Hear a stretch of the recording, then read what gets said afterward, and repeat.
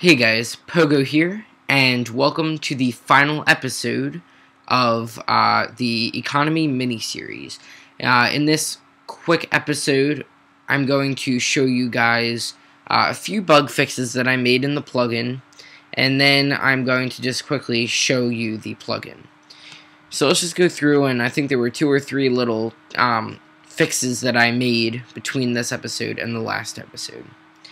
So, the first major change that I made is um, if we go over to uh, get balance with the player, it now um, uses it takes the name and it use, puts it to lowercase. So set balance and get balance use lowercase because I was having an issue where um, sometimes the name would be saved to the configuration file in lowercase, sometimes in uppercase, and then it wouldn't work correctly because, um, like, I would try to get the amount for the player name uh, with, like, stylized uh, in uppercase like that, but then it would be saved in lowercase like this, and then the values would be different and it wouldn't work.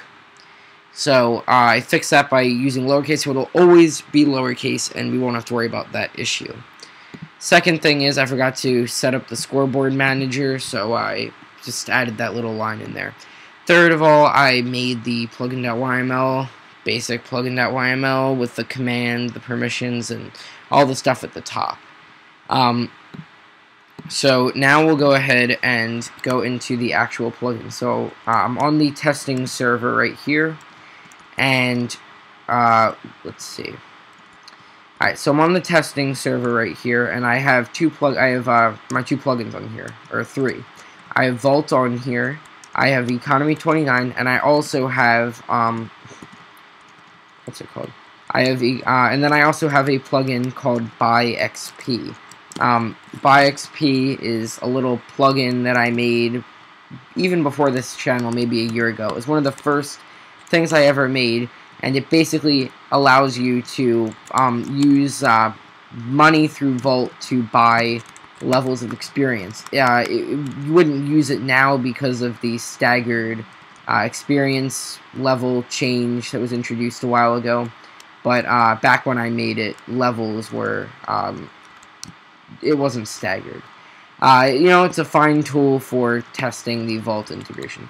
So first we'll go ahead and run the eco command and you'll see it says my balance is $10. Uh, I have been testing with this, so I set my balance uh, to be $10 when I was doing some testing earlier. So let's go ahead and test the two commands. So let's go ahead and add uh, 10 and it will say added $10 to basic 29 so they now have $20 and if I run it says I have $20 so I had 10 and I added 10 so now I have 20 so let's go ahead and do eco remove uh, PogoStick 29 uh, 10. So it'll say remove $10 from PogoStick 29. They now have $10. And if I go here, then in fact the money was removed. So the uh, eco, the built-in command functionality does work. So now let me just show you the Vault integration. So we'll go ahead and go over to BuyXP and you type BuyXP and then the level. Uh, there is a configuration file for BuyXP. I think that each level is currently set at $10 per level. So we'll go ahead and do uh, BuyXP1, and it will say you bought one level and spent $10. Uh, so, if we go back to Eco, you will see that my balance is now $0. It was 10 before, uh, but Vault went ahead and took away $10, so that works. Um, see, the final thing that I want to show you is, let's say I try to buy another level, but I don't have any money. You'll see an error has occurred, insufficient funds. Uh, the message, uh, they did not have enough money, so the message that I wrote back was insufficient funds, and that's the message that they received. And in fact, if I go to Eco, I have $0 and not like $10 or something like that. So I guess that's pretty much it. This was just a very basic um, introduction to uh, an economy plugin. It's fully working and it has Vault support, which is pretty cool. The next um, mini series that I'm going to do uh, is permissions. Um, that will be, you know, another five or six part series, maybe a little bit more. Uh, and that will basically cover a permissions plugin with adding and removing permissions. And again, um, I guess I'll do Vault integration, but the real thing with permissions plugins is um, Bukkit integration, so that it can, um, you know, it, so that it can integrate with uh, the sender dot has permission, command sender has permission method, and all of those different things. So that's going to be pretty important. Uh, so that is coming soon. I will try to get the first video for that up tomorrow. I'm um, sorry that I haven't put a video out in a while, but I have been, I was on vacation for a week. Now I'm back.